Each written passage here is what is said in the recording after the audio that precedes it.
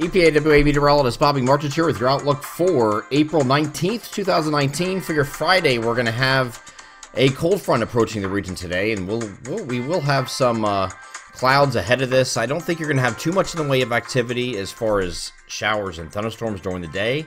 We will have a few showers around in some parts of the areas this afternoon, but I think the main part of the line, the main part of the cold front, will come through overnight. Now, the National Weather Service has uh, flash flood watches up for across the region. I don't know that they're necessary, and they may end up dropping them just because the short range guidance has not been thrilled with the uh, with the rain amounts, and they continue to not be uh, thrilled with that this evening uh, with the latest guidance. So here is the uh, global models we're looking at now. This is for early Friday morning. As we move through the day, uh, here's two o'clock in the afternoon. And here is 8 p.m. You finally get some showers moving away eastward here on the global models and some thunderstorms included in that as well.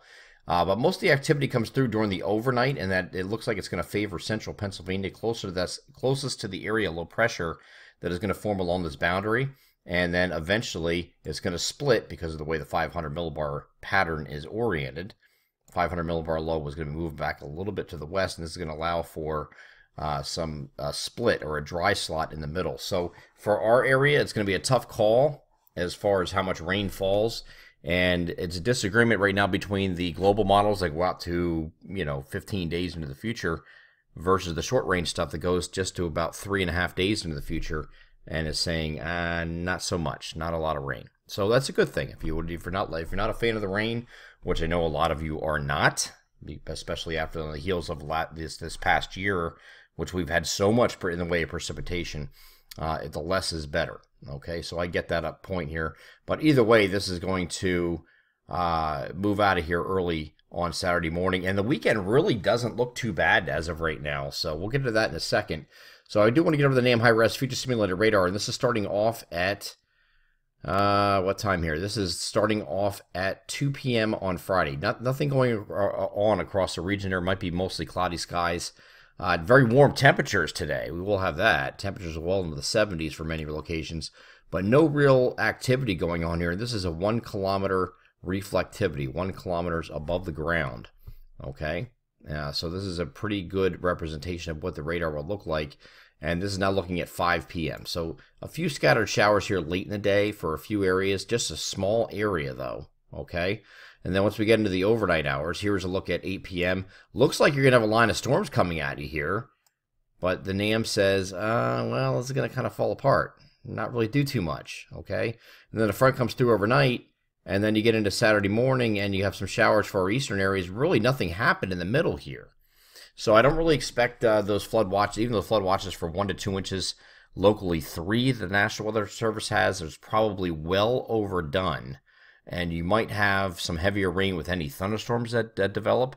Uh, the problem is here, uh, as far as severe weather is concerned, I think that's going to be a further south type thing. These areas and further south. So these areas right down here, I think, are your areas that could have the severe weather. Up here, uh, it, they had a marginal risk up here like this, up to these areas right here, so it included uh, parts of our area. I just don't see uh, a, a very good threat for severe weather across our region. And one of those reasons, if you look at, let me get to this image right here. This is a sounding. Now, this is a part of sounding. I don't have the whole thing here.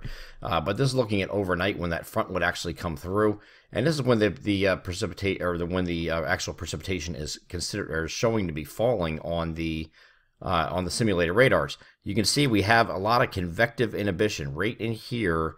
Uh, this means that we will have, we'll have plenty of cloud cover. What that does is help stabilizes things, and this sounding is not indicative of something that I would consider to be a severe weather sounding. So uh, this is not really looking too good for any kind of severe weather, which is good. So we have we can step away from that a little bit and just make uh, the marginal threat that's there by the by the SPC is probably good and we'll leave it at that. And I don't think we we we need to increase this any, and it's just because that cloud cover is going to help inhibit some of that severe weather. And if you look at the last couple of days here, uh, one of the drivers for that was this upper level low, the cutoff upper level low. That's still here, uh, but one of the reasons why we're not having that is we don't have a lot of difluence ahead of this front boundary. Everything's kind of going the same direction.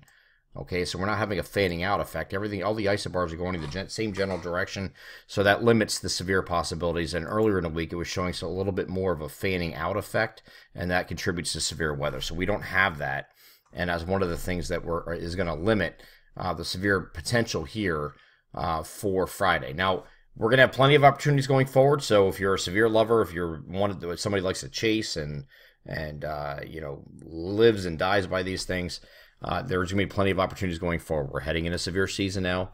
We just had a severe episode a couple days ago, and then this one might not produce, but it's not a big deal. We have plenty more opportunities coming.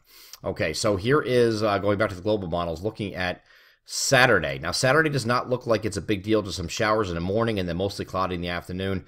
It's now looking like Sunday is going to be okay. All right, so this is Easter Sunday. Maybe some showers just west of our coverage area, out in these regions, right in here, uh, but nothing else showing here for uh, for much of our coverage area.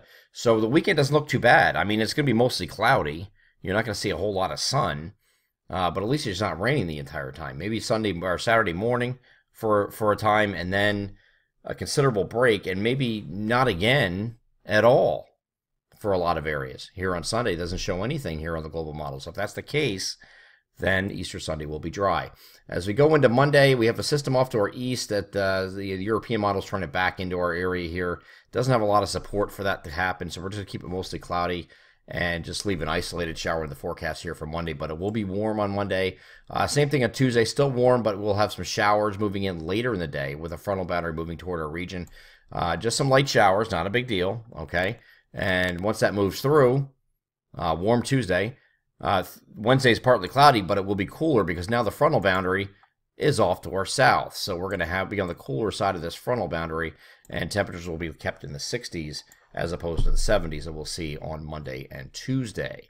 Okay, and then finally, when we get to Thursday, uh, this particular model showing absolutely nothing, but the GFS does have some showers in the region here later in the day. So we'll, we'll keep an isolated shower in the forecast here for Thursday for now until we see different.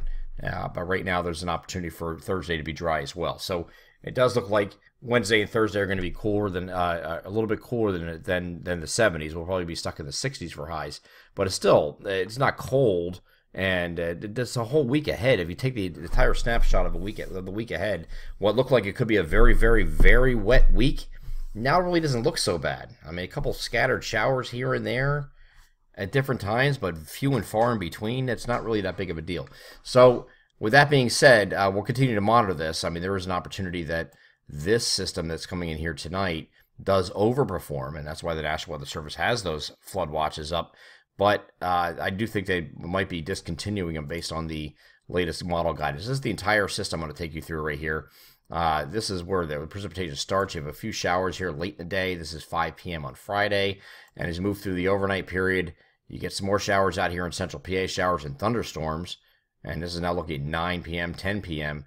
And then we go through the night here to about midnight, lifts off to the north, and that's pretty much it. Then you got a few showers further east here. So might not be that big of a deal. If you do get a thunderstorm, it can produce heavy rain.